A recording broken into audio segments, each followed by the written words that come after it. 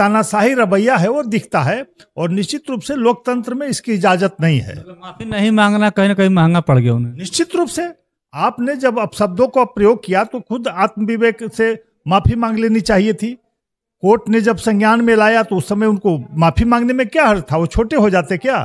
तो कहीं ना कहीं वो जो पुराना उनका जो पारिवारिक पृष्ठभूमि रहा है उनके राजशाही का जो तरीका रहा है। आज भी उसी में जी रहे हैं। आज भी वो समझ रहे हैं कि देश के हम ही प्रधानमंत्री हैं, मालिक है। यहाँ तो क्या था कि हम खाएँगे ना खाने देंगे, अपने हो या पराए।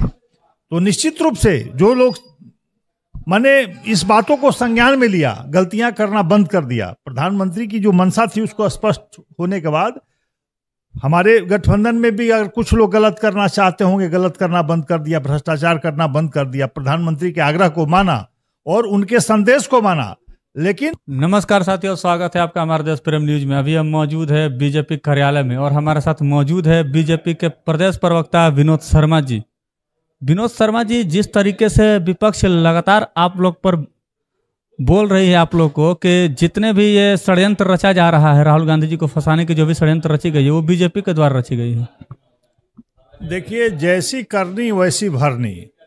विपक्ष जो अपने हिसाब से काम कर रहा है, संविधान को ताक पर रख के काम कर रहा है और लोकतंत्र की हत्या करना चाहता है तो इसमें भाजपा क्या करेगी?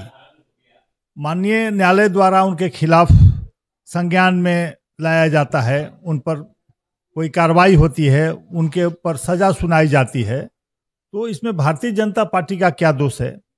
आदरणीय राहुल गांधी जी पर जो कार्रवाई हुए न्यायालय ने किया है, उन्हें न्यायालय की भावना का सम्मान, उनके आदेश का सम्मान करना चाहिए, क्योंकि इस लोकतंत्र में किसी को भी गाली देने का अधिकार आपको नहीं है।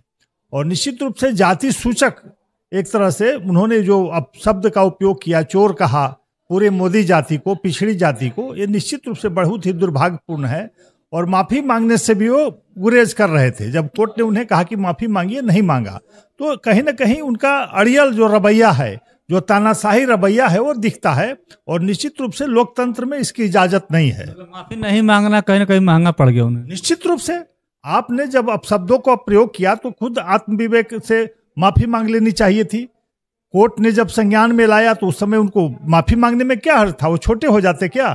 तो कहीं ना कहीं वो जो पुराना उनका जो पारिवारिक पृष्ठभूमि रहा है उनके राजशाही का जो तरीका रहा है आज भी उसी में जी रहे हैं। आज भी वो समझ रहे हैं कि देश के हम ही प्रधानमंत्री हैं मालिक है। यहाँ तो जनता मालिक होती है जी। कश्मीर से कन्याकुमारी तक पैदल मार्च कर दिया सर कहाँ राजशाही रहा? देखिए रवैया नहीं बदला और राजशाही का अभी भी प्रभाव उन पर है। कोर्ट के सामने माफ़ी मांगने में क्या छोटा हो जाते हो? अगर गलती की थी गालियाँ दी थी किसी समाज को जाति को तो उन्हें अपनी गलती पर का एहसास होना चाहिए था।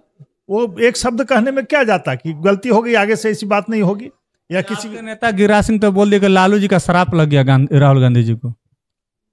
देखिए अब गिरिराज जी हम लोग के बड़े नेता हैं मंत्री हैं। किसका शराप लगा? वो तो दुनिया देख रहा है लेकिन सच्चाई है कि लालू यादव की भी उन्होंने जेल भेजवाया था। इसी मुद्दे में बिल फाड़ ले थे जिसका रिज़ल्ट उन पर भी लागू हो गया। यही राहुल गांधी ने बिल फाड़े थे और सदस्यता समाप्त करने की बात करवाई थी कि जो सजाएबार हैं और इनकी माफ़ी नहीं होगी। मनमोहन सिंह जब बिल ला रहे थे तो उन्होंने उस बिल को फाड़ा था, जिस पर भी केस हुए थे। तो निश्चित रूप से कहीं ना कहीं से भावना आहत हुई होगी। लालू यादव जी आज उनकी मैंने करनी का फल भुगत रहे हैं। तो हो सकता है कि उनको, उनका आह लगा होगा, उनके जो अंदर का दुख है, उसे आहत होकर के उनको इस तरह की सजा हुई होगी। सर? आखिरी सवाल ये है कि विपक्ष हमेशा से ये क्यों आरोप लगाता है बीजेपी पर कि ईडी और सीपीआई का बीजेपी जो है पूरा दुरुपयोग करती है, पूरा सिर्फ़ और सिर्फ़ विपक्ष के नेताओं पर ही छापा मरवाती है?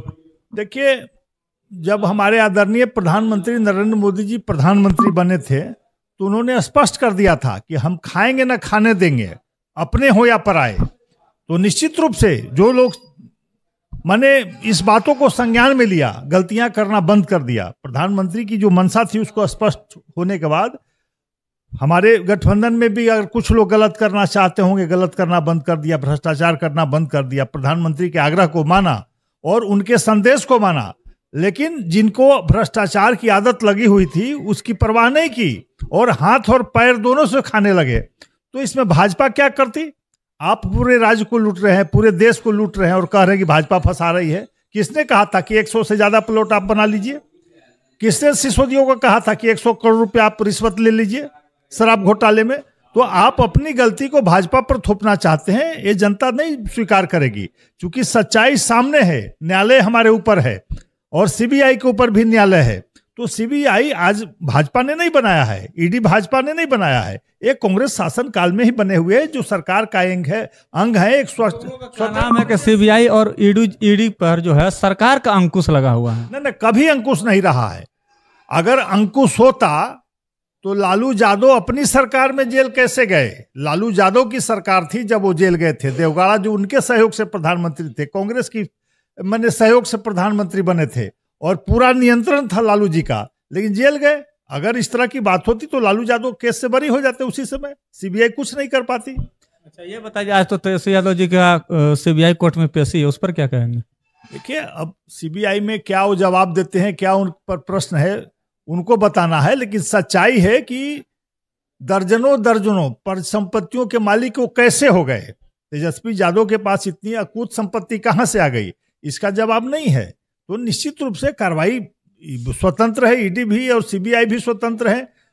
न्यायालय भी सारी बातों को देख रहा है। अगर आप गलती किए हैं ज़्यादा धन अर्जित किए हैं आमदनी से तो इसका तो जवाब देना पड़ेगा। तो घबराने की ज़रूरत नहीं है। कोई आराम से कम्बल ओढ़ कर सोए कोई कार्रवाई नहीं होगी। धन्यवाद। तो आप सुन रहे थे विनोद शर्मा जी को इनका सीधा सीधा कहना है कि अगर आप सही होंगे तो बच जाएँगे सही लोगों को घबराने की ज़रूरत नहीं है। और जहाँ तक ईडी सीबीआई पर विपक्ष आरोप लगाता है ये बिल्कुल निराधार आरोप है। विपक्ष जो आरोप लगाती है कि ईडी और सीबीआई बीजेपी के इशारों पर काम करती है ये कहीं से सही नहीं है। ये कहना है विनोद शर्मा जी बीजेपी प्रवक्ता का। तो साथी आपकी क्या प्रतिक्रिया है? कॉमर्स लोगों में जवाब ज़रूर दे। अगर आपने हमारे फेसबुक पेज को फॉलो नहीं किया तो फॉलो कर लीजिए। यूट्यूब चैनल को सब्सक्राइब नहीं किया तो सब्सक्राइब कर लीजिए। धन्यवाद साथियों। जय हिंद जय भारत। आप देख रहे हैं देश प्रेम न्यूज़।